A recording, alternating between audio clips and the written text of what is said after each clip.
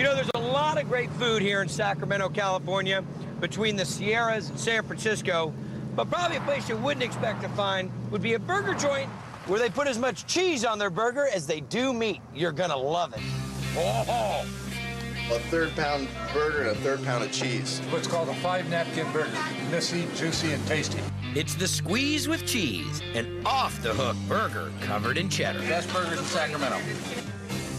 That is the craziest thing I've ever seen. Well, you see the cheese just hangs out here. It's very crisp and just cheesy. Kind of wakes up the taste buds before you bite in the big juicy burger. What time do you open? 10 o'clock. And they're already lining up I drive across town for this. at this tiny 12 stool dive called the Squeeze Inn. It's hard to find a seat in this place, so when you find one, you gotta sit down and enjoy it. I think that's why they must call it the Squeeze Inn. Have a good day.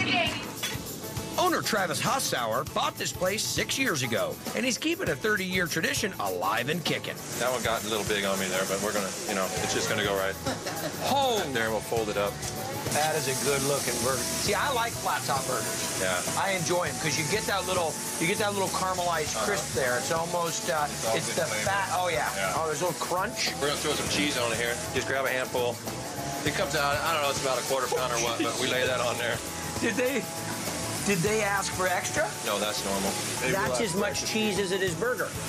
Yeah, pretty much. Then comes the totally out of bounds way they finish them off. A handful of ice. All that's gonna do is generate steam.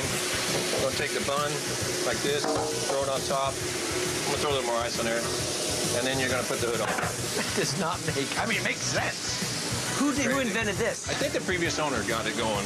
Pretty unique and original. Pretty unique? People love it. This is what's so cool about it. It cooks the cheese. You add the steam factor, steams the bun, keeps the burger juicy.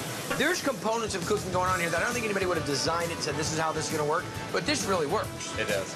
I mean, this really works. I'm pulling the hood off. Wow. So that's it right there. See how the cheese is all melted down on there? Now that bun, Now, where, where does all the cheese go with it? It's all gonna go with it. I'll Oh, mix it all. It's gonna Oh, fried right cheese like that. Yep. See, it's bubbling off there. A lot of times, if you do it right, you can get to the counter in time. The cheese is still bubbling. That is money. Look at that.